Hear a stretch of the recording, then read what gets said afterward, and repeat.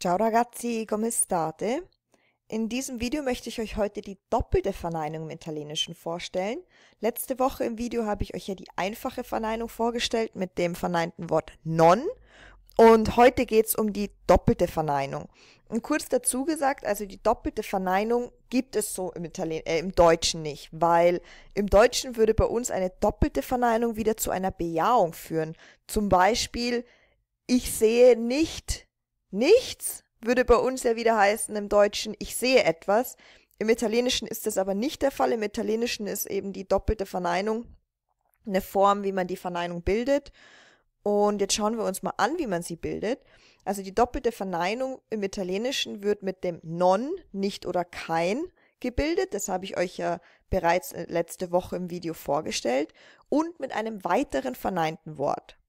Und das non steht grundsätzlich vor dem konjugierten Verb oder wenn es ein Ausdruck ist, vor dem, Aus, vor dem gesamten Ausdruck, das aber ähm, vor dem Verb steht.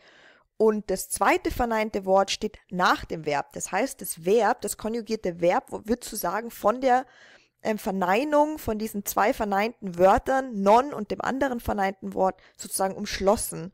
Und jetzt schauen wir uns dazu mal Beispiele an. Und zwar non vedo niente. Also das habe ich euch gerade ähm, im Deutschen schon das Beispiel gemacht. Also wörtlich übersetzt hieße es, ich sehe nicht nichts. Man, es ist aber, also es wird so nicht übersetzt im Deutschen. Also im, im Deutschen heißt es ganz einfach, ich sehe nichts. Im Italienischen braucht man aber die doppelte Verneinung, um diesen Satz zu bilden. Also non vedo niente. Und das seht ihr auch schon. Also hier steht eben am vor dem konjugierten Verb vedo steht das non und nach dem konjugierten Verb steht das zweite verneinte Wort, in diesem Fall niente, was nichts heißt. Und in dem gesamten Satz heißt es dann non vedo niente, ich sehe nichts. Ein anderes Beispiel, non vedo nessuno, ich sehe niemanden. Da habt ihr genau das gleiche, also nessuno oder nessuna heißt niemand und dann habt ihr hier im, im, ganzen Satz fängt es wieder mit dem non an, also non vedo nessuno. Ein anderes Beispiel, non vado mai in palestra, also mai heißt nie. Der gesamte Satz heißt, ich gehe nie ins Fitnessstudio. Und im Italienischen ganz wieder, wieder wie vorher eben non vado mai in palestra.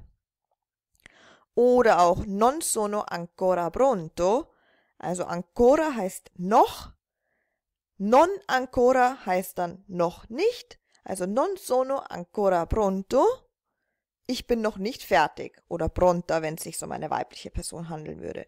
Also in diesen Beispielen seht ihr ganz deutlich, dass man eben dieses non braucht vor dem konjugierten Verb und dieses zweite verneinte Wort steht dann nach dem konjugierten Verb. Ich habe euch da in dem Artikel noch weitere Beispiele zusammengefasst. Es gibt noch einige weitere Ausdrücke. Jetzt schauen wir uns mal die, noch ein paar weitere Ausdrücke an im Italienischen, die eben so mit der doppelten Verneinung gebildet werden. Und zwar eben non niente hatten wir bereits, heißt einfach nichts. Und wie gesagt, in einem Satz braucht man das eben wieder mit diesem non. Dann non Punkt Punkt Punkt per niente heißt überhaupt nicht, überhaupt kein. Non Punkt Punkt Punkt nulla heißt auch nichts, ist im Prinzip das gleiche wie niente, vielleicht ist nulla etwas umgangssprachlicher. Dann non, Punkt, Punkt, Punkt, nessuno, nessuna, niemand. Dann non più nessuno heißt niemand mehr, also dieses più heißt mehr. Also non, Punkt, Punkt, Punkt, più nessuno. Zum Beispiel, ich sehe niemanden mehr. Non, Punkt, Punkt, Punkt, mai heißt nie. Mai più heißt nie mehr. Ancora, non ancora hatten wir im Beispiel vorher schon, noch nicht oder noch kein. Non, Punkt, Punkt, Punkt, neanche heißt auch nicht, auch kein, also anke kennt ihr ja sicher, das heißt auch und neanche heißt auch nicht.